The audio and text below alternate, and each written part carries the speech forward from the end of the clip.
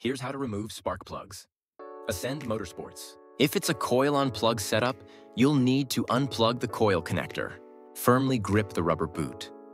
Never pull on the wire itself. Gently twist it side to side and pull up. Remove the bolt holding it down. Once that's done, pull the coil straight up.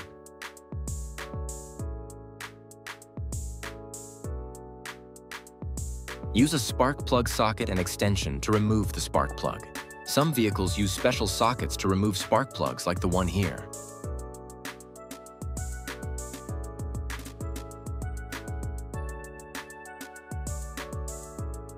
Carefully lower the spark plug into the hole and thread it in by hand. This prevents cross-threading. Use a torque wrench to tighten spark plug according to your manufacturer specifications. It's typically between 15 to 20 foot-pounds. The one used in this video will have an Amazon link below. Push the coil back in, bolt it down,